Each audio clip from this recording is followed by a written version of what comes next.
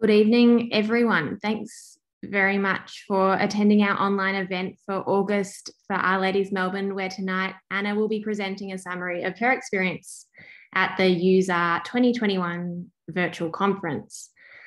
I would like to begin this meeting by acknowledging the traditional owners and custodians of the land from where each of us are joining from today for me, I respectfully acknowledge the Yalukit clan of the Bunurong, and I wish to acknowledge them as the traditional owners.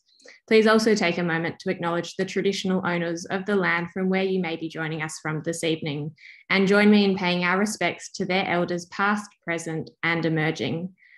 I extend this respect to all Aboriginal and Torres Strait Islander people joining us tonight. So before Anna begins her presentation for this evening, just a few notes. Um, as usual, we are always on the lookout uh, for new speakers, um, conveners of workshops, um, and um, the like. So if you um, think this is something you are interested in or would like to get involved, please send us an email, message on Twitter, Facebook, etc. Um, I'd also like to take a moment to thank the committee of 2020 and for all their hard work um, over the last uh, 12 months. And you can see everyone pictured here. So thanks very much for your efforts. Um, likewise, if you'd like to read the annual report for the events um, and a summary of what's happened in the last 12 months, please follow the link here. Um, and with that, uh, we can introduce uh, the 2021 committee members and um, particular we welcome Shazia as the president uh, of the committee um, and we look forward to the next 12 months and hope you can join us for all events um, to come. Um, with that, you can find us on YouTube, Meetup, LinkedIn, Twitter, and Facebook. So make sure you're keeping an eye on all these um, these uh, platforms. Um, so with that, um, we are very excited this evening to have Anna, whom I'm sure many of you know very well and may have heard speak before. Um, tonight, Anna will share her useR! experience um, with us. Anna has an academic background in statistics. Most recently, Anna joined WEHI, where she completed her master's research in population genetics and then a PhD in cancer genomics. She has since worked as a data scientist for an AI consulting company. And two months ago, she joined the Melbourne based startup Mass Dynamics, where she is working as a bioinformatics data scientist.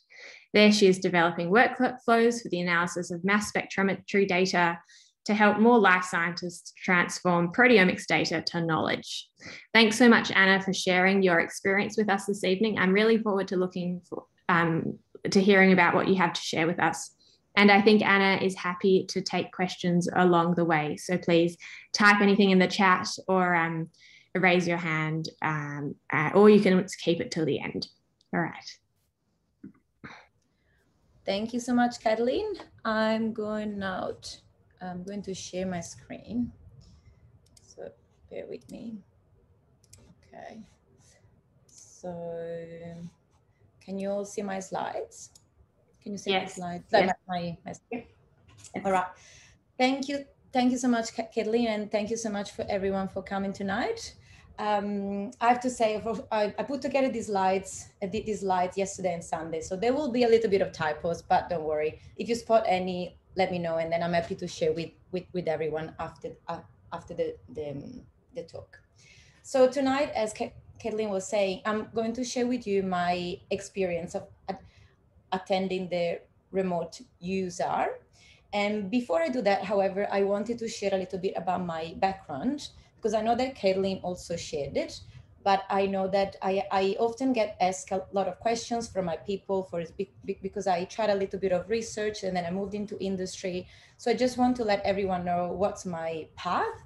Uh, so even if the end of the talk uh, or after you would like to connect, or you have any questions about it, feel free to ask as well.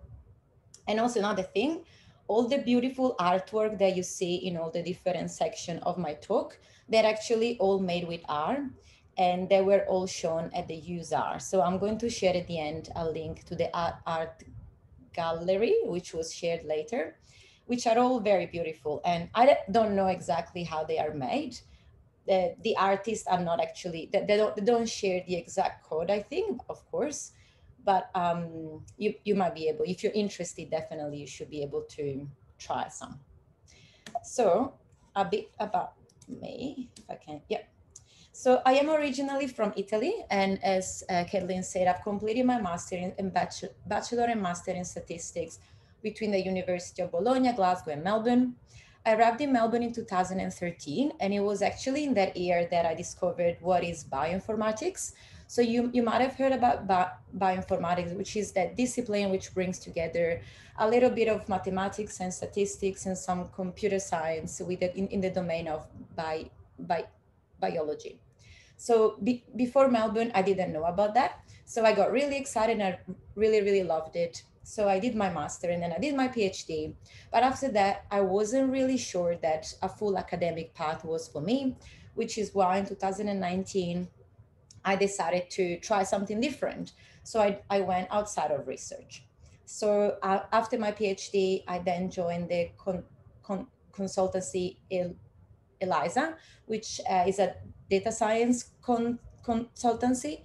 And I was there for about a year and a half. I spent there all my COVID time. And uh, however, I was missing science, which is why I got the opportunity two months ago to then join the startup where I'm working now.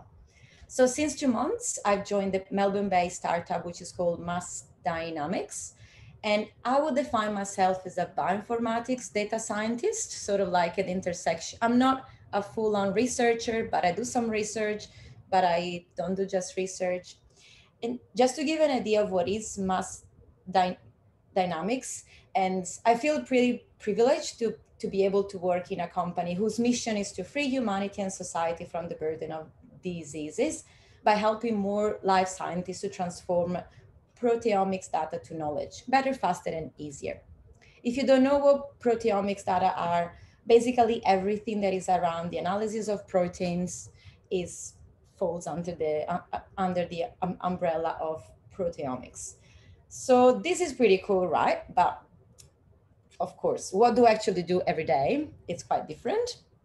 So a lot of my time, definitely, I really like to work in a, uh, I work in a fun team.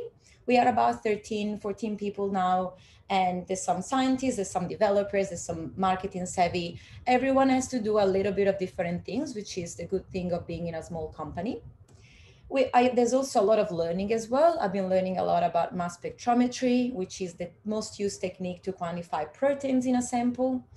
And I also need to interact with uh, scientists, so people that actually do the experiments to understand what they actually need from their data. And a lot of that requires definitely coding in R. So I spend a lot of time coding in R and in particular developing workflows for mass spectrometry data coding in R also means that we try to really strive to make our product and our um, our, our, our packages rep- reproducible. We want to open source them, and of course, this required a big learning curve, which is why I decided to, which why I really like the conferences like useR! or the Bioconductor Conference, which will be very soon at the beginning. Well, actually, this week. Uh, because it's always a great way to meet new people and learn about new methods and tools. So in a nutshell, I study, learn, think, build some R packages and a lot of debugging and then repeat. But it's really, really fun. So this is about me. And now let's go into USAR. This is an artwork from Will Chase, which is called Terrazzo Confetti. So useR! 2021, of course, was online. And it was very different from the first time that I attended, which was in 2018 in Brisbane. I could say that useR! is one, is one of my favorite conferences. Uh, just because of the community and the vibe and there's always some new exciting things to talk about and that and that you find out. So this was us in 2018 there's a group of R-Ladies with jenny bryan and many other people in brisbane. It was a great time to be able to have a dinner all together. Unfortunately, this year it looked like this, which looked like um, it was online. I couldn't, I didn't actually take part at the um, Our, R-Ladies meetup uh, on um, on Zoom because in Melbourne it was about 9 p.m., uh, 8 p.m., and so I, I, had to go out for dinner. And probably if you know um, if you know if, if you are from melbourne you will know that every opportunity to go out for dinner is good because you never know when the next lockdown will happen so you can't miss it but nonetheless i believe that the organizer made a great job because even though we were all on different time zones they really managed to put for different time zones they put a very broad and diverse range of topics so that you didn't feel like you were missing out on some things of course, as a disclaimer, everything that I'm going to present tonight also not by chance cor corresponds to talks that I could attend because they were in my time zone. However, uh, all the talks and the workshops will be made all available online on YouTube very soon. So I'll keep you posted and we'll make sure that we share the link with everyone so that um, whenever they come out, you'll be able to see seminar talks and everything else. So getting into the details and more the juice of my talk, these are the topics that I will, that I aim to cover tonight. There is a lot there. There's a lot of like packages and tools and discussions. Uh, I'm aware that I might not be able to get until the end, but I just, close the window, it's quite noisy but um, I'm also I, I, just wanted to put all the details and the links that I could attend that I could follow during the conferences. And even, the, even though I won't manage to get through everything, you will have all the materials and link there. So I want to start with teaching and learning statistics. This was a, set, a session on Thursday. On so this was at the beginning of July. I really like this session, not because I teach. I mean, I learn I learn statistics, but I believe that uh, the way in which in which the the tools that we use for teaching are so important, and to make it fun and to make it to make people to really engage with the data is really, really important for how we learn and how we remember things. So as part of this session, I would like to introduce you to the uh, Penguin data set. And as with every conference, you might find that if you attend a conference, you might see that there are some themes which happen at the conference.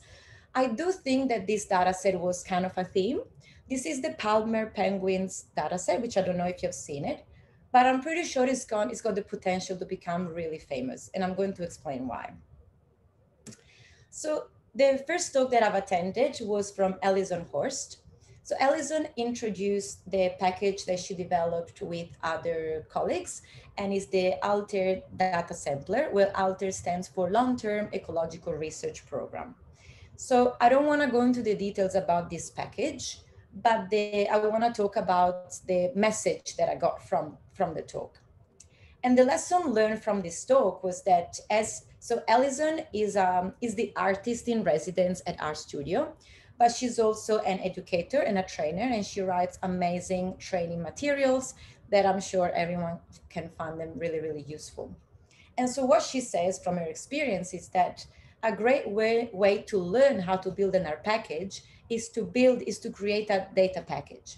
So you you don't you don't you have to, we, we have to stop thinking that if I don't have a super complex cool new functions, then I cannot run an R package. You just need maybe a little piece of code, but maybe you have been scraping the web because of, uh, to find some COVID data. Maybe you have scraped to find some Olympics data, and then you have cleaned up a data set. Maybe that's a great way. That's already a great way to start and making your R package because she found that it was actually a pretty fun way to teach also to students different skills about data cleaning and then packaging up your data and sharing your data, which is really, really important. And as a free gift by making data packages, uh, you probably also may give to many other educator because uh, sharing data by packages is one of the best way to share knowledge and being able to share new a, a, example data with, with others. And in particular, how many times have you used the IRIS dataset? If you've never seen the IRIS dataset, I, I'm not going to talk about it now. You just need to know that it was made in 1936 by Ronald Fisher, which was a very famous statistician. Everyone would agree, but the IRIS dataset maybe has been overused to explain the, how model works. So the uh, so the idea is that Palmer penguins will become the new iris. So I'm gonna show you now what the Palmer Penguins data contains. But the idea is that the IRIS dataset contain a lot of different measurements from iris, which is a type of flower. It contains sepal, le sepal length, sepal width, uh, the types of roses, and it was used in a lot of example to show how different methods works. Uh, work in, in particular, I think it was used a lot to show how linear this discriminant analysis works in the first place. So it should show some the data should be able to show some kind of groupings, which is exactly what the penguins do. So the Palmer penguins actually, so was built by Alison Horst, Alison Hill, uh, which are both at RStudio. Kristen Gorman um, was actually the one who also went to Antarctica to collect the data. So these are the penguins that Kristen uh, took the picture of, where this one instead is the artwork that Alison Horst made. So it is probably way cooler than the very, very old IRIS dataset. So this is the um, just a screenshot of the head, sorry, um, the head of the uh, Palmer penguins, because I'm gonna be using it in, in some examples tonight. So I wanted to introduce it, I wanted to introduce that to you as well. So in the Palmer penguins data, we have the species, of penguins. We have the islands where the penguins come from, and we have different measurements of the bill lengths, bill depth, flipper lengths, and so on. And this is an example of how they look like if you plot them. So you can see that it's got some sort of grouping, and so you can use it to show different way of coloring things or grouping and cl classifications, clustering, and so on. So here we go with the Palmer penguins. So the closing thoughts from Alison talk were that modern curated and well documented data sets are in demand and are really greatly up, appreciated by everyone that creates any training um, ma ma ma materials. And that R packages are a great way to share this, this data. And then it's also a great way to show, for example, to students how to build your data and also how to clean your data. So this was from Alison. And even though it wasn't part of the of the R conference, I just wanted to put here some examples and some idea and some tools that I found really useful in how to create your R package. I have to say that my first R package, I built it maybe, I tried to build it really, it was pretty disastrous, maybe nine years ago. And it was a big learning curve. It wasn't great. The documentation was really hard. And I don't think I did a great job at the end. I remember I was since probably a couple of years ago, I was really scared about building another one. But during my PhD, I had to build another one. And so I tried. And I started following the R Packages book, which was written by Hadley Wickham. And really, it's just so easy, so easy to understand. It's very comprehensive and it makes everything really look so easy. Like the setup has never been so easy. Then, of course, you can build on top of it, but to set it up, it's fine. The only thing that you need to start really is maybe one function, just as an example, or some data. You need to you need a project folder, just a folder in your computer, and you need to run this function. Use this create package. You can find more info into the book as well. And so this create package will create the basic information and the basic package structure that you need for, for your package. And then you're pretty much set up. Uh, so this create package will create this basic folder structure. And if you want to add some data, how easy is that? So here I made some fake data. You can just run this command, use this use data, and this will automatically add a data folder in your uh, R package structure. And so you're done for now. You've got your minimal package structure, and then from then you can build on top of it. So how easy is that? If, however, you are a person who loves R Markdown and you're really, you know, you, you write writing documents and you've never written your R package, you might want to try a different approach. So this is a talk that, um, a talk from the speaker, Sebastien Rochette, uh, was a talk at the conference where he introduced his package Fusen. I think you spell it Fusen or Fusen, I cannot remember. And the idea is that if you know how to create an R Markdown file, then you know how to build a package. I put the link of the introduction to that one, to them, to Fusen there.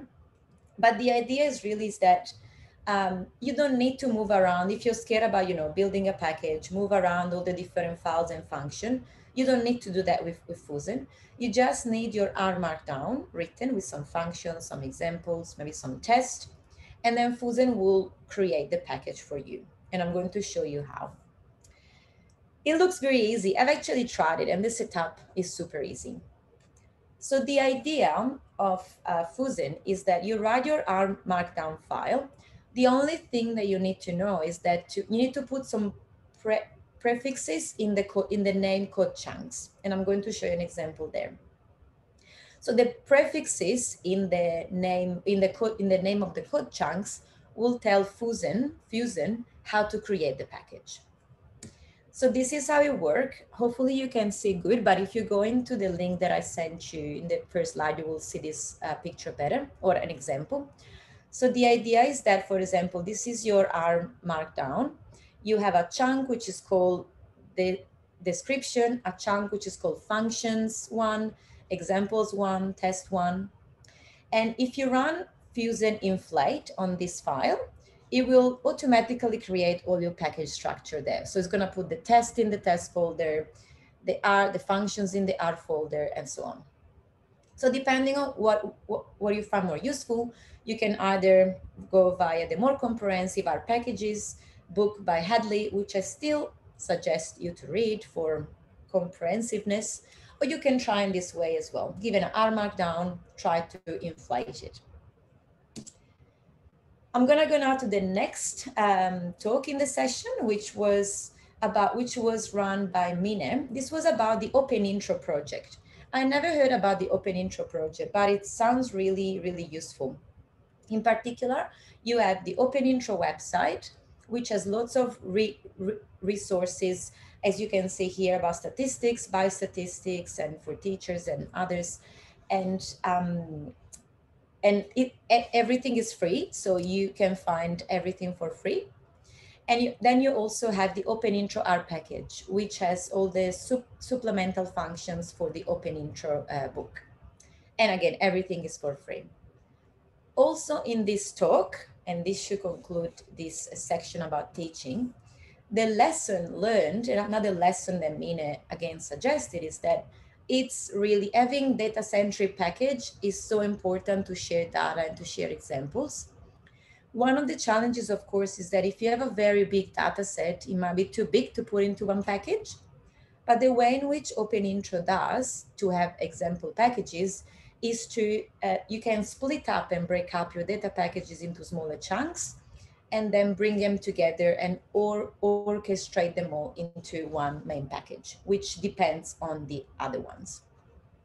So for example, the open intro package in the deep dependencies of the package will have these other three da data sets. So when you load open intro, you will also get the other ones. Uh, oh, sorry, this is the last one uh, that I had from this section. I didn't actually attend this talk. I was meant to, and then something came up. But this is a, seems like a really useful resource for learning and teaching Bayesian statistics, if that's something that interests you. The Bayes rule package contains a lot of the, uh, the functionalities and the data to accompany the book, which, uh, which is the Bayes rules is an in introduction to Bayesian modeling with R, which is a more comprehensive book. But unfortunately, I didn't attend this talk. This is the end of section one. Um, I don't know if there was any talk, um, sorry, any question. Otherwise, I'll, I cannot see the chat at the moment. So no, it's all good. Okay, awesome. So the next part was about data vis visualization. This artwork was made by Ye Ijeamaka Anyene, and it's entitled Sunset. So for, for this section, I decided to put together, also bring together also a keynote uh, talk. So the first keynote that I saw was Paul Murrell, Paul Murrell, who uh, is from New Zealand actually. So it was in my time zone, which was really good. And he's the author of the package GR devices. So in this um, in this part of so grDevices, grid, and all these sort of packages, I'm not super familiar with all of those ones, and definitely uh, they belong to a low level R graphics, but I think it's still useful to know that they are there and know what, what you can do with them in case you'll ever find, you know, in, in that situation. So the idea of grid. So here, this is um, a picture that Paul shared that shows you how all these packages are interconnected with each other. So the grid package is a low level system on which ggplot2 is also based. So all ggplot2 is based on grid. And grid uh, R graphics is also different uh, from the base graphics. So there is base, graph, base graphics, R graph, sorry, base graphics, grid graphics, and ggplot takes from grid graphics. So the idea of when you want to use grid, well, normally in mo most of the time, unless you are a developer, you won't use grid. You will use ggplot2, which already offers a large set of fu fu functionalities to plot all the different plots that you need. But if you're thinking about extending some functionalities which are not present in ggplot, you might want to go and look at grid. So example on how grid has been uh, has been expanded recently, and this is what Paul was talking about. For instance, you can make these uh, interesting um, radial or gradient fields, which is a little bit similar of what you would do if you had to work in Illustrator. So if you want to make more complex graphics, and in this um, in this blog post, Paul shares a lot of the new features which were added, I think, last year to the grid package. So you can make this sort of gradient fields. You can put patterns into your, you can build up patterns. So basic low level patterns. Of course, like you might say, well, I can do that. I, I can do everything in Illustrator or something else. Well, not everyone has Illustrator, but also if you want to make your graphic completely reproducible and sharing it, that's the way to go as well. And just to give you an idea, this is some things that you could do, for example, using grid. So this is another post, another talk, sorry, that he, that Paul was sharing and how you, um, how you can use grid to actually go beyond statistical plots. So you don't, you can use grid to make really whatever you want. Just to give you an idea from his slides, this is the sort of plot that he explained in this talk, how you can make using grid by using the shape, by using overlapping with shapes and, and so on. So it looks really cool. Definitely there could be a little bit of a learning curve because it's quite low level, but it is doable if, um, if you're interested in it. Instead, going a little bit more high level, I really love this package that I discovered at the conference. So the author of this package, Virgo, so Virgo is the R interface for the grammar of graphics based on Vega-Lite. So the two authors are Stuart Lee and Wang, which are also my friends. And I didn't know that they met it, so I was really surprised and happy to, to see it there. And the reason is that with Virgo, you can make easily, easy interactive graphics to explore your data. It is true that you also have Plotly and you also have other options and you also are, Shiny. But I find this Virgo quite to have a good potential, especially in terms of like to allow cross interactivity between plots without having to build a full Shiny app, but just in a few lines of codes.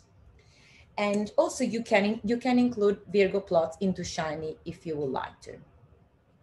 To give you an idea of how it works, so here I'm loading, of course, the Palmer penguins. That's what I'm going to use for the whole talk.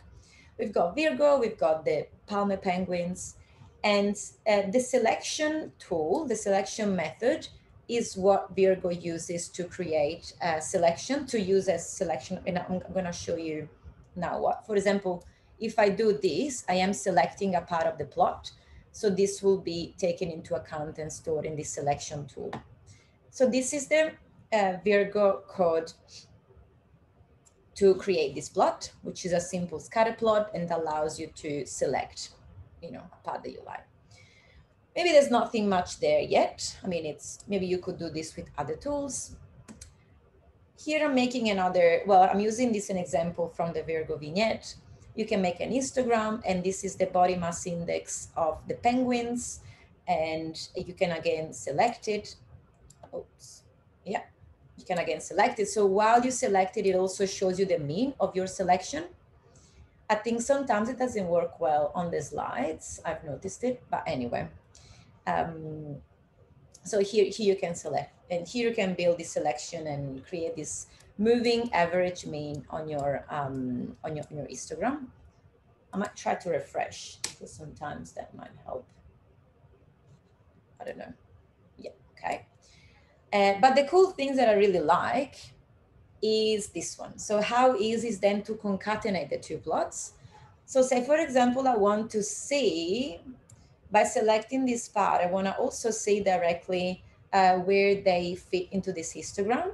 You can directly do that. And you can imagine all the possible ap application of this. When you've got a scatter plot on one side, you want to see how it changes on the other side. I remember that I was looking for a solution like this and um, the main thing that I could find until maybe some time ago was to use Shiny, which is definitely good, but it might take more time than just a few lines of code like, like this one. So I really, really like this package and I hope they're gonna keep developing it more. Um, the, the, the last uh, package that I wanna share from this section is instead about is the microshades package. So microshades was shared by Lisa Karstens, which is a PhD student, but actually I think she's a lab head, uh, but I need to confirm. And uh, the microshade actually was built to introduce new color palettes, which are meant to be more accessible. So for color vision the deficient people, it also, it also offers way more color and easy to use um, color palette. It is available on GitHub for the moment, but I'm sure it will be on CRAN soon. The idea of microshades is that it's got, it has two different crafted color palette. One, which is specifically CVD uh, color vision deficient palette. And the other one, I'm pretty sure the other one is also uh, for CVD uh, people. Um, I'm not an expert in color vision deficiency, but there are definitely all different levels and types of it. And so uh, Lisa has been really working a lot to make sure that she, she could include and sort of be com comprehensible and create colors which are accessible for a broad range of people. So, and in each color palette, because of all these different micro shades and uh, shades, of course, you have 30 colors which are available in each co co color palette. And to show you how it looks like, of course, on the penguins in action, this is how it looks like using the default ggplot color graphics. And this is instead how you would see it uh, with the penguin, um, sorry, not with the penguin, with the micro shades um, palette. And as you can see, uh, you can also select the different shades to also specify different types of levels within every section, sorry, within every group. So here we have the penguin type Adelie in three different ears. So you can also show that difference within each group. So I found this really interesting. And in particular, she also showed a lot of different examples. Um, oops, I think I might have shared the wrong uh, link here, but she showed example how to use this. Uh, this is for the penguin, but non-microbiome data.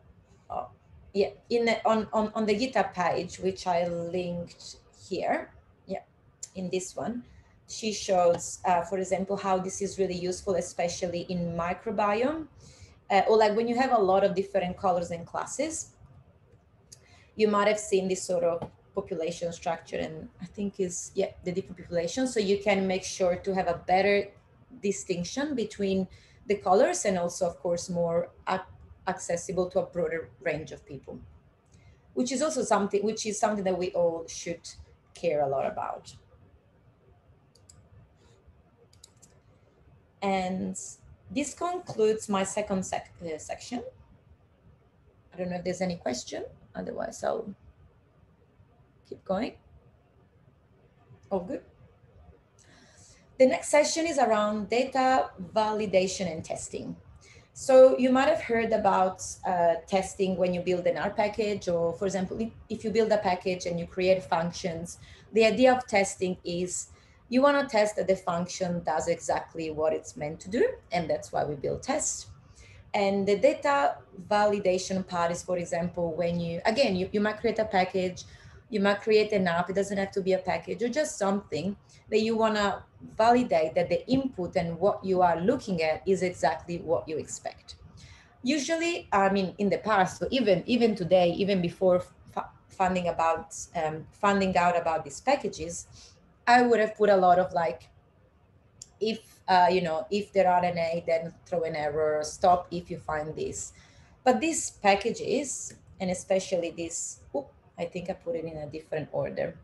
Never mind. I'm going to start with the testing and then I'm going on to validation.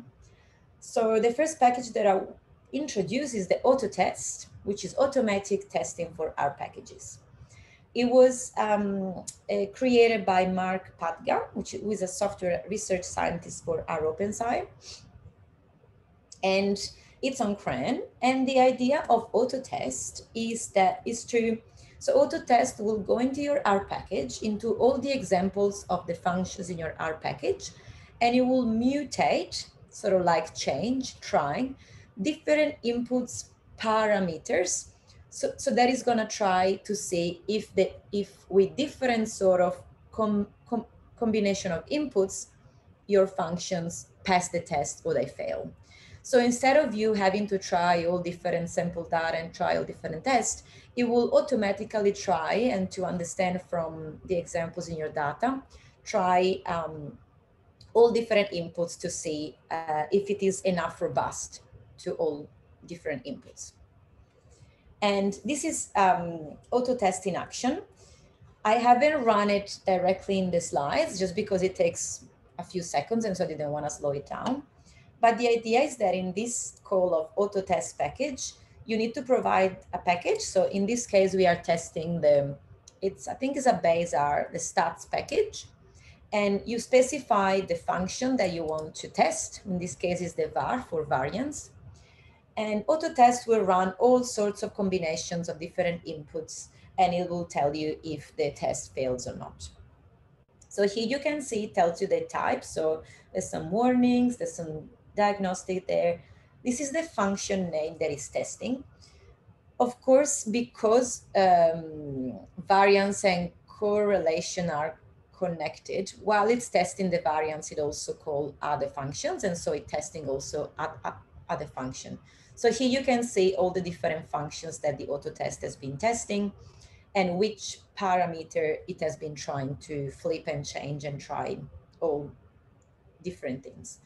And uh, by so by using the output from this data, so pretty much it is a data frame, you can then go back and understand if there's something um, something failed, if there were some warnings, if there were operation which were weird, and so on. So it definitely is really useful. The only thing, of course, that you need to have in your R package is you need to provide examples in your function so that Autotest can go there and try all different inputs. Another really interesting package is the TinyTest uh, package for, for unit testing. So Mark van der Loo uh, built this package. He also built the other validation package, which I'm going to introduce soon. TinyTest is tiny because it's meant to be really lightweight. It's a very minimal, sim not as minimal package, like, but it's it, it doesn't depend on a lot of other packages. It really just meant to make the development of unit testing easy and um, also clean, clean and easy. So compared to I I haven't tried it yet because I've been always using testthat which is still really good as well. But I've never, um, I never, I, I, should probably give, give a go as well to TinyTest to see how it changes and how it's different. But in theory, gives you some better function, more straightforward to make it easier to build unit testing.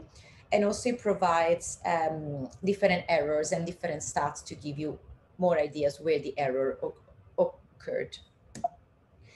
And the idea, um, as you can see, there is a linear increase in the number of packages on CRAN and Bioconductor, which are using Tiny Tests for their de development.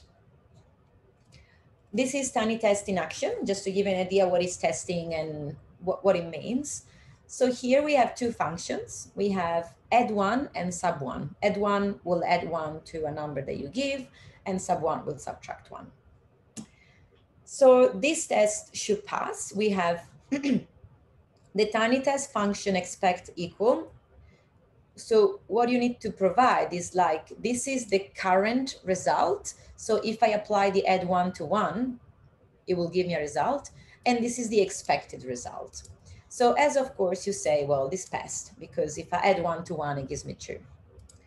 But if I, uh, in, in this case instead, because it the function is called sub one, but I was actually subtracting two, so it was wrong. Uh, sub one applied to two should in theory give me one, but it's not. So this test is fails, is failed. And it tells you that this call has failed and the difference is this expected one, but it got zero. So give it a go if you're in, if you're, if you're developing packages, definitely. And you can find all the other functionality and function to use at this link. For example, um, this is one example. This is probably the most common, expect equal. Current value should be equal to an expected value. But there are, of course, many, many other ones the last, I think should be the last package for the, for the session that I really liked is this validate package. So the purpose, which is the author of this package is still Mark van der Loo. The purpose is to provide really very easy way to validate your data. You can find more resources at this link. One is a full book about data validation and things that you can um, uh, things that you can do. And um, the other thing, yeah, whereas this one is the GitHub link to, to the package. To give an idea of how validate in action works, again, we go back to the Penguin dataset. Just to refresh your mind, this is how the Penguin dataset is structured. We have spaces, islands, and some features of the penguins. For example, if you had to validate some other data, you might think, oh, well, if you have to build a predictive model or you need to cluster the data, you might want to make sure that you have complete data. For example, you want to make sure that you don't have these sort of things where everything is an A. You want to make sure, for example, that your the length or width or depth of the build is actually positive. You can't have negative values. Otherwise, probably there's been some input errors. Another thing that you might want to check is to cross-validate between columns. So con conditional uh, validation. So say, for example, you know that uh, on the Biscoe Island, you can only have Adelie and Gentoo penguins. So if you find Chinstrap, it could be true, but you might also want to check that that's correct, that has been re re recorded correctly. So I tried to build a valid validator to show you how it works. You can build va validator as set of rules. And the way in which you put rules is that you can separate rules by different commas. It's super easy. And the, the e e example below also shows you how you can combine the conditional vali validation rules uh, by looking, for example, of the completeness of a row and so on. So this is my val validator. I load the library validate and I create my rules. This is the validator function. I require that the flipper length is larger than zero, that all these fields are complete, which means there's no NA. And here I'm making actually a mistake in my assumption. I'm saying if the island is Biscoe, then species should be Adelie, which I know that is wrong because yeah, as I show you, if the island is Biscoe, we can have both penguins. So this should give me, uh, you know, some errors in output. And this is the output. So you can apply with the confront function, you can apply the rules to your penguins data set, and it will show you that, okay, the first validation rules, which is this one, uh, it's all passed. So you have everything passes and no fails. For the second rules, which is checking for completeness of the data, it's got two fails because two were two rows at all at NA values. And then of course, we, it tells me that we have 124 fails, because of course we have also the Gentoo penguins, which lives on the Biscone Highland. So that's just to give you an idea, but I really found this super useful because if I remember all the time I had to write if this, then do this, or, and instead by applying all these rules, you have your data set at the end and you can already parse this data set to figure out what rules have failed, where to go and debug your code or your data and so on. So give it a go to make sure that your data is in a healthy state. This concludes also um, this part. Again, if there's no questions, I keep going. I'll keep going. With this one, this is a talk that I've seen at um, a user, but I'm not gonna talk about it. This will be a teaser for you for next month. And uh, the talk was called Here is the An Anomalous Down. The talk was by Dr. Sevvandi Kandanaarachchi. Hopefully I spelled it correctly, uh, or sorry, pronounce it correctly. And the uh, so Sevvandi shared with the with the community two R packages that she's been developing with Rob Hyndman as well from um, uh, Monash. And uh, here I put the link of the, the two packages, dobin and Lookout. These two packages are aimed at finding anomalies, so anomalous data in high dimensional data. When you think of anomalies, of course, you think of something that maybe is strange, distinguished from the rest. Sometimes it could be good, but most of the time you might want to make sure that you know about those things for instance, say that you're mo monitoring the heart uh, rhythm of some patients and you have a measurements over different time and you have measurements for different different things, not just one specific uh, thing.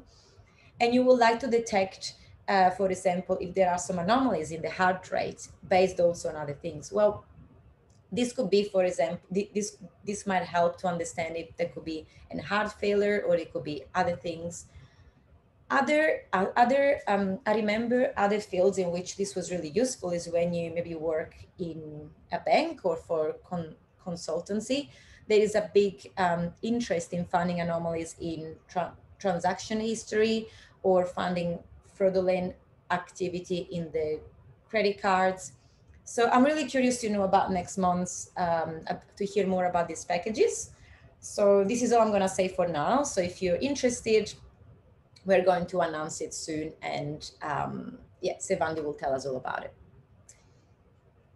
And this will bring me to the next section. I'm just gonna open slide the window because it's really warm.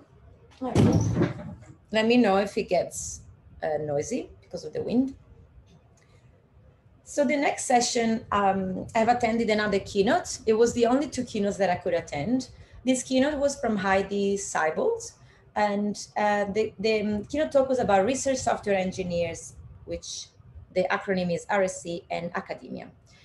Again, as the penguins was a theme of the conference, I've also found that this RSE was a theme of the company. I uh, sorry, the company or the conference. I had never heard about RSEs before, but it seems to be something that is increasingly gaining popularity and visibility as well. So, what are research software engineers?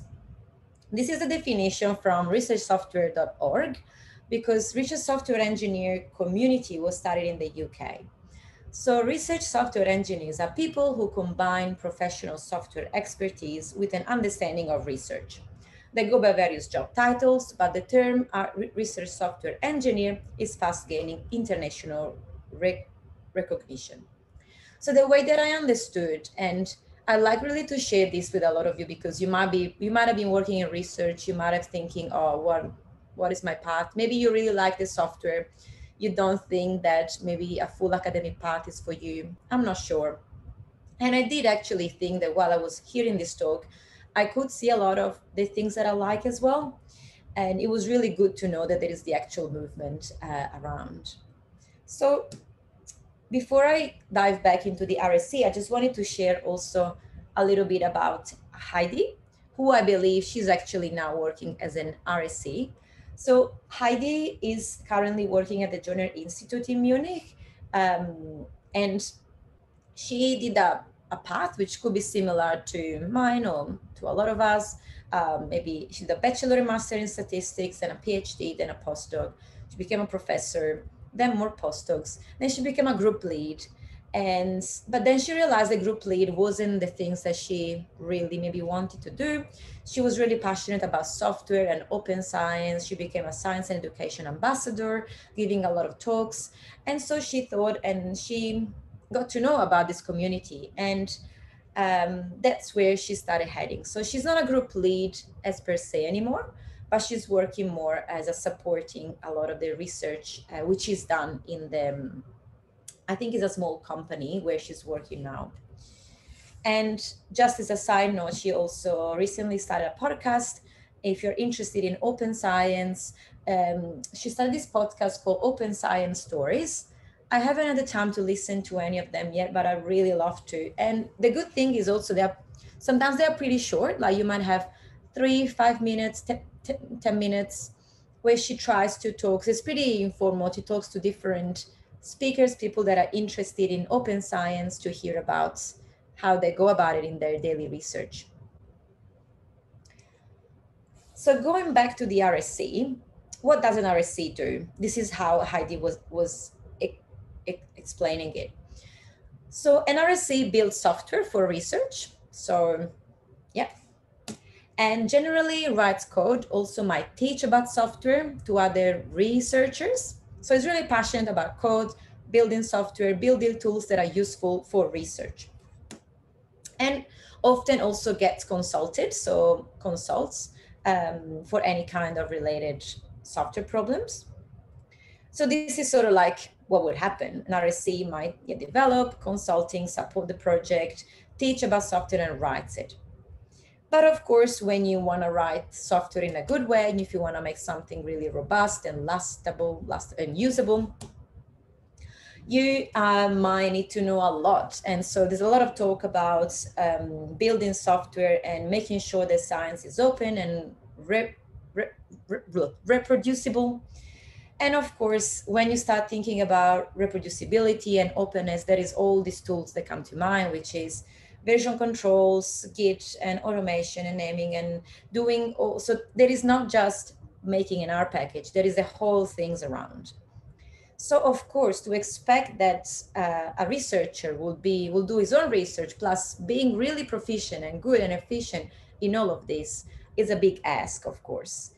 And that's why the RSE comes to help, and that's why it's gaining popularity. And uh, I'm not sure exactly, I've never heard about it in Australia, even though at the, at the user conference, there has been a few sessions, which unfortunately I wasn't able to attend because they were during the night, where there is really a lot to try to, to see how we can connect more the community, how, what initiative we can do to sort of like make sure that these sort of people have visibility in the lab or in the research group where they work on. So if you think that this is something that might do for you, you can find more about it, become part of the community. So um, you can find RSE. I'm not sure that there, I haven't researched that there is an RSE community in Australia, but I don't think so yet. You might um, create a, a, a awareness follow maybe some podcasts like this one that Heidi was suggesting, or the one that she's also uh, running.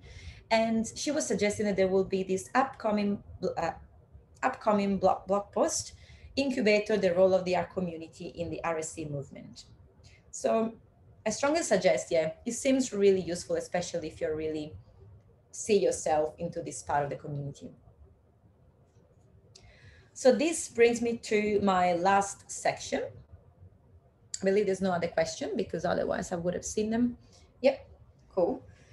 So the last section is R in production. And I'm gonna tell this section is gonna be a little bit more um, like more tech. I mean, everything in this talk was very technical, but definitely is probably even more, more like if you are actually developing something. But I thought it was still really useful to uh, talk about it because I'm not sure exactly what is the audience of this talk and where everyone comes from.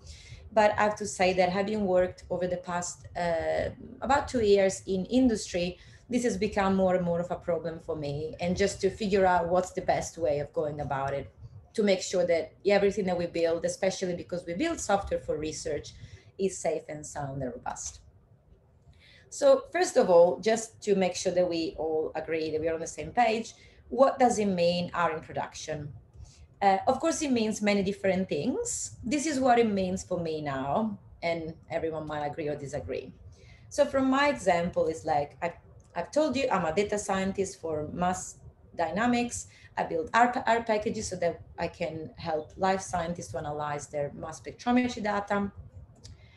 But Mass Dynamics wants to make all these R packages and fu functionality available, easily available to life scientists, which might not be expert coders. So, um, but so they, so Mass Dynamics wants to reduce the barrier to access these packages to people that are not actually able, that they, otherwise they will have to code themselves. Or for example, scientists that are in a lab where there is no support um, computational persons for them.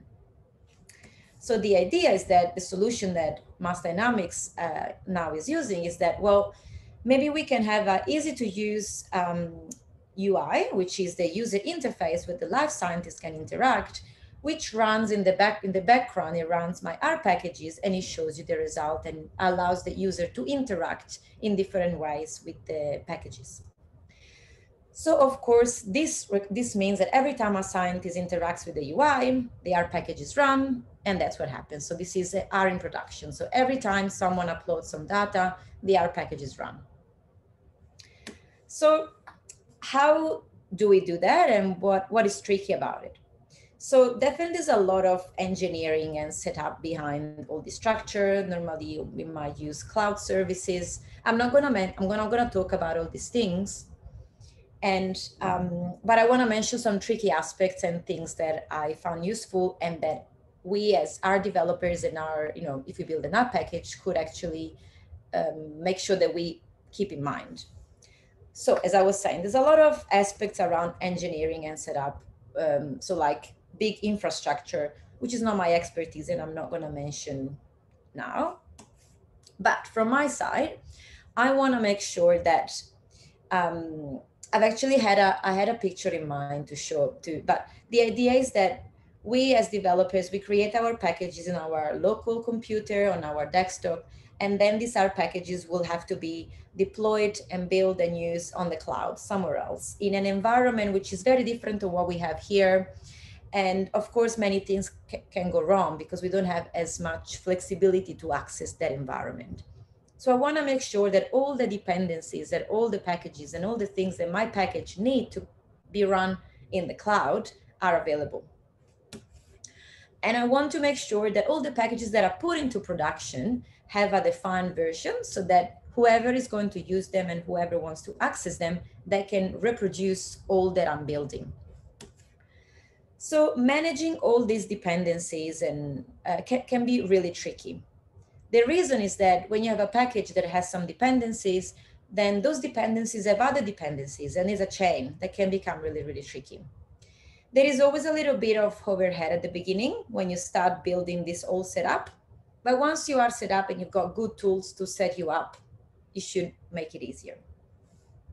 So I've attended a few sessions about R in production at the, well, one, one session. There were two or three. I could only attend one because it was in my time, time zone and I've discussed and I've asked some questions to the um, uh, speakers just to see what they do normally.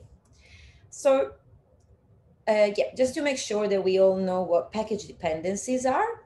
So the package dependencies are uh, what you find in the description file of your R package, and they are described under depends, imports, and system requirements. System requirements are dependencies that are outside of R. An example, I put an example here at this package because this is a complex pa package, a spatial package which contains lots of different dependencies. So as you can see, this package depends on this one, our methods. These are all the uh, packages that it needs. These are suggested packages. And then it also has, I don't know if it's big enough. It also has a lot of other requirements because it's a complicated spatial package, it has a lot of other requirements.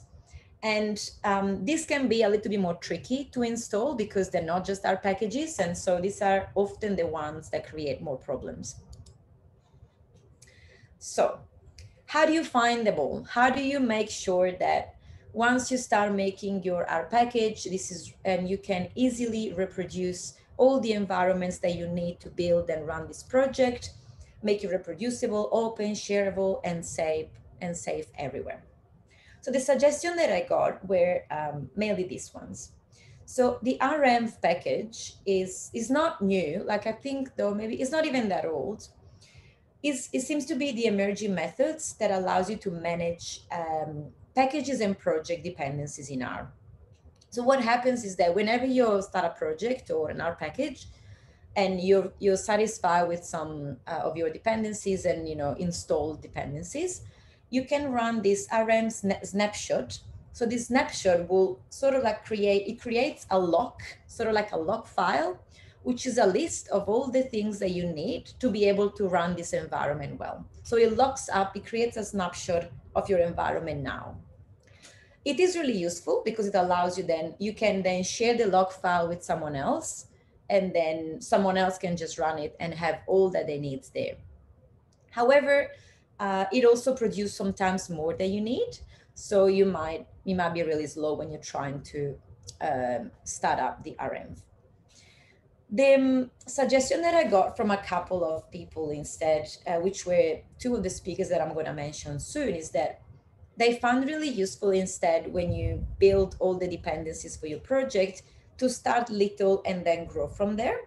So for example, you start by looking at the package imports that you need so for example, if I if I made my R package, I have all my all my library, all my R packages that I need to run my package. Well, this will be all the import that, that I need. I need to have all these packages installed in an R session to be able to run my package. But then you can go and look for each one of these packages if there are some special dependencies for each package the way in which we look for more special dependencies, there are some tools in, um, in the R ecosystem, which are really useful. So one is this uh, sysreqs uh, package. So this is an API to a database. Uh, so if you run sysreqs commands and you provide the, um, the path to a description file of a package, it will tell you, it will run for you all the um, all the commands to install all the system dependencies that you need. Another way is the R system requirement. So this is kind of similar. Is an RStudio independently maintained catalog of all the dependencies, which is used to power the RStudio package manager. So if I show you, for example, what happens here in the RStudio package manager,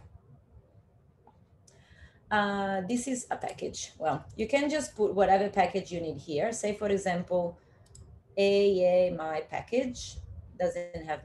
Let's see if I put the SF package, which I had before. Yeah, so the SF package, it tells you you need to have all the system requirements to be able to successfully run your package. So this is definitely something that more an engine, more maybe engineering or people um, maybe in your yeah, engineering group might help with but it's good to know because i found out that a lot of the engineers and developers in my team they don't know anything about r so a lot of the times we're coming back and forth with many different issues that i wasn't aware and they weren't aware. So the conference was really useful to really nail down all these different things where to look for all, all, all these problems. So then next time maybe we don't have to waste so much time going back and forth. And um, the other another interesting package is the maketools package. And this, when you run this maketools package system c steps for a package, it will give you the list of system dependencies that that package needs. So if you run it on all your imports and nothing comes out, you're safe, but otherwise you might need to install extra things. So this is um, these are awesome suggestions that I got from the two speakers. One was Peter Solymos, who gave a talk about data science serverless style with R and OpenFaaS. And the other one was uh, Max Held, who was a speaker who gave us um, a speech about this one, building data products strictly without magic. Unfortunately, they were overlapping with other, I could only see very part of it and I attended a question session because they were overlapping with the visual visualization uh, session. If you're into these things, I also suggest to look at these other resources. One is a blog about determining system dependencies for our projects. The other one is um, a post made of useR 2021, where um, they make a summary of all the talks about R in production. So it will list all the other sessions that I didn't really uh, attend. So this concludes my talk. I also put these slides there, but um, I'm not gonna really talk about it. it. It wasn't from the useR conference, but this was a talk that my ex-colleague at Eliiza gave uh, last year. Uh, he had to work on a project on making um, a machine learning model uh, in production for a company. And so this is sort of the infrastructure. He's an engineer, so this is the infrastructure that he found really useful. Uh, using the Plumber, Plumber R package, which generates API for R, and then packaging everything up with Docker. However, this could be a whole different talk. I just want to make sure that it's there. And this is the link to his slides if anyone is interested in. Otherwise, um, this is almost concluding my talk. I put here a link to the art gallery slides. However, I'm pretty sure that it might take a little bit, oh, maybe not. It could take a bit to load because they are all very heavy images. And uh, so I'm going to share the slides with you so that in, in your time, you'll, you'll be able to see all this beautiful artwork that um, yeah that people share the conference. I couldn't attend the, the this the art gallery moment, but there was music in the background and artists were there, so it looked like a really really special moment. This concludes my talk, and I would like to thank definitely useR organizers and speakers. It must have been really challenging to go through all of that online. Uh, definitely Mass Dynamics as well for letting me take part in the conference um, a lot of learning. I was really useful to look at Alison Hill uh, to learn how to make beautiful sliding using the Xaringan package. And I also, um, also thanks to Shazia, because I checked um, Shazia's slides from the previous talk to check some tips to be able to, um, to, to see how I could build my slides in Xaringan slides. So this was my first talk in Xaringan and um, it's definitely a learning curves, but it's definitely doable. Especially, yeah, looking at the slides from Alison, she goes through a lot of different things and really, really easy to understand um, slides. I also made a glossary at the end, all the packages that I mentioned with the links, and so that it might be easier just to go back and forth to different parts. Um, and I yeah, I hope that you all had a great session. This is another artwork. If you have any question or you want to ask me about other things, feel free to contact me on Twitter. Um, and yeah, or even tonight, I'm happy to share my email later. Any, yeah, if you've got any question, I'm finished. That was fantastic, Anna. Thank you so much. Um, I think you've had a lot of people saying um, great presentation. So well done. Um, I think there is a question. Can you see that all right? Or would you like me to read that? Uh, yeah, stop sharing so I can read this. Yeah, read right. the questions. Uh, for the, the last one, yeah, for the package autotest, do you have to write the tests or just writing the example in each function is good? Um, yeah, so to the answer this first question, you need to have example functions. So sorry, you need to have examples in your functions so that the autotest package will go and run those examples and it will try to mutate the input for all the parameters of your um, of your examples and try to see if it fails. So it doesn't, my understanding, and again, I haven't used it yet, my understanding is that it doesn't run tests per se, like it doesn't go into the test folder, but it mutates inputs so that it tests the examples of your um, of your package. And the other part was, can it test graphical output of functions like that? I'm not sure. So if you have the way that it works is yeah going through examples so if you if you if you can write examples with where the graphical output is in text but i don't know that it can do directly from an image probably i'm not sure about that um okay think this was the question thank you all is that the question i asked another question Yep. Thank you. Uh, what kind of data validation rules generally should be used while working with large database? Are there many rules of biological data other than missingness positivity? Okay. So in terms of the data validation rules, definitely that will depend on your data.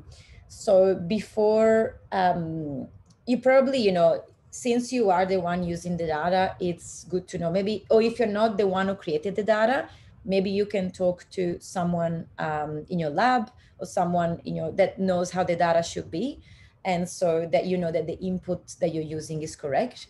There isn't really as strict rules in what data be like. It depends really on the source of the data the type um, i would imagine for example if you're looking at gene expression data definitely everything should be positive. I mean unless they're logged but then you can check if they're not logged.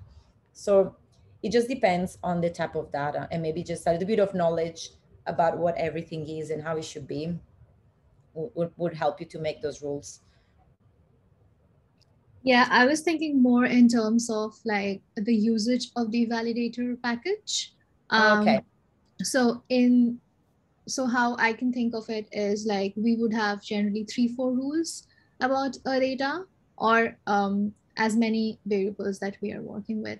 Uh, so even if we are having many rules then we have to like um, specify all the rules like that right? And we will have a table with each row um, corresponding to each rule uh, mm. so yeah i'm just thinking more in terms of uh, the usage of the validator function that mm. if there is some standard validation that should be done whenever we are working with data of course like it would depend on whichever data and the context that we are using? Yeah, I'm not sure. I think I would say that there is that. So the validation cookbook, I'm going to share the slides in the chat anyway, because um, they should be ready anyway. So the validation cookbook, which is what they, what the author wrote. Uh, so yeah, these are the slides, but I'm to share that one. Data validation cookbook it contains a lot of uh, these sort of rules. So maybe this one, it might be worth, for example, looking at um, all of this, the, the list of things that, we got there. For example, they look at variable checks, um, uniqueness, multivariate checks, which is similar to what I was showing with the conditional island penguins.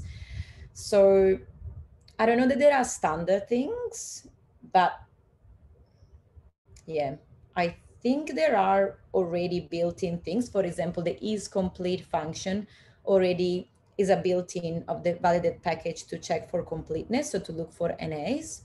So that's already like bringing all things, so you don't have to look for every column.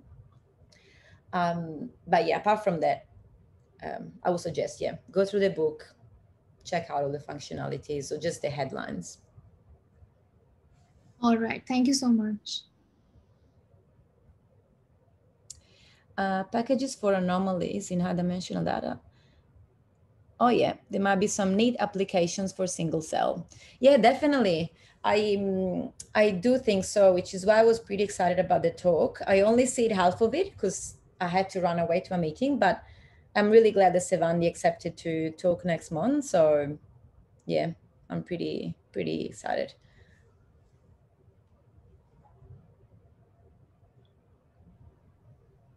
Um, so I have a not very uh, packet related question, but so okay. in terms of when you're working, like say you're producing a paper or you're working as a uh, project, how do you define or what's the workflow we should follow when decide whether this code should belong to this R script, or how do you separate your R code into different parts for your analysis? So sorry, can you say it again? Is this related to the Fusion package, the Fusion package, or in general? No, I think oh, it's just like to the broader audience that we have all the R experts yeah. here today. So what would be your guidance when you decide how to work with a large R project? And how do you divide it, your code into different scripts? Okay, different scripts. So not, not related to yeah, probably a package itself. So I think like um, I'm thinking back to when I was doing my PhD, because of course PhD is a long one, so you have lots of things going on. The general idea is that I try to keep a script separated by aim, by tasks. So say, for example, you have to do, it also changes a lot if you've got analysis scripts or you have to build a more software script. So you might think about that as well. So are you using the same, are you writing a file with a lot of functions and you're using them all over again? Then maybe you might want to think of bringing all these functions into a package so that you everything is in the package. You don't need to load the functions all the time. Everything is there. And then you do your analysis. So yeah, think a lot about the big chunks of what you have to do. Is this an analysis that it will just be a data analysis for our collaborators or for yourself? And it only requires to bring in other already existing functions or is this an analysis that requires you to build your functions? And so maybe you can package them up to have them better stored. And um, I've, I've started using a lot more version control but that's mainly for our packages because i know that when you work with collaborators you cannot push to github uh, your script or data so that's more private even though you can have private repositories and version control and being able to just simply use GitHub for that, even in the private repositories or just Git allows you to, of course, avoid duplications of a lot of scripts, um, copy and pasting and writing V1, V2 on, the, on all the different scripts. There's definitely a lot, yeah, that we could talk about um, around that. Does this sort of answer your question or? Yeah, thanks. And I also see from the chat that Adele said she used the workflowr package. Yeah, yeah, yeah, yeah. I yeah, I've used that as well.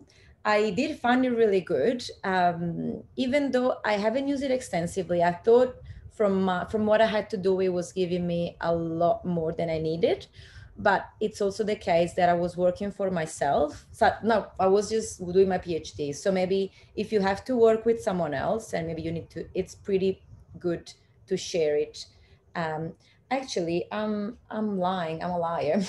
Last year I ha- I used it extensively because I was helping my sister in Italy doing her master uh, re- research. I mean, a part of her project, and so I did everything in workflowr, and it worked really well because it allowed me to share it easily with her by GitHub and then by the website so that she could just download the plots and do all the things. So yeah, that, that's definitely. Thank you, Anna and Adele for this idea. I'll look into it. Thank you, Adele. And there's a question from Shazia. Does the usethis also help with project management? Don't actually show myself. It was so, kind of a response to Diana's question, but I'm not actually oh, okay. Sure. I think yeah, use is more for yeah maybe a project or package setup more than mm. management itself. Like it's really it's got like some you really useful um, for the documentations or to set up the package really quickly, and a lot of other things. I'm I don't I mainly use it yeah for package setup or project setup rather than management. Yeah.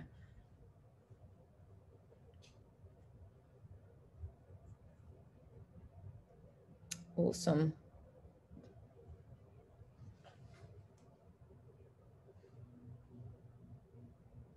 Don't think there are other questions. Well, if you've got any other question, yeah, feel free to um, send them on Twitter or anywhere else. And we're gonna share the slides as well on, on Meetup. Cool. I don't know if there's anything that um, you wanted to say, Kathleen? Otherwise, I was just going to say, well done again. That was a great overview, and I look forward to having a, a, good look through the slides again to look at all the cool packages you've shared with us, and so much to to think about. Um, anything, Shazia, to add? No, thanks everyone for sticking around and yeah. to Anna for a really excellent talk. And yeah, look out for the meetup, you know, the link on Meetup or Twitter if you follow us. We'll, we'll put it up in several places so you can digest. yeah. Yeah. Thanks everyone for listening and for the questions. And awesome. Well, have a good evening, everybody, and see you at the next meetup. See you, everyone. Bye. Thanks, Anna. Bye bye.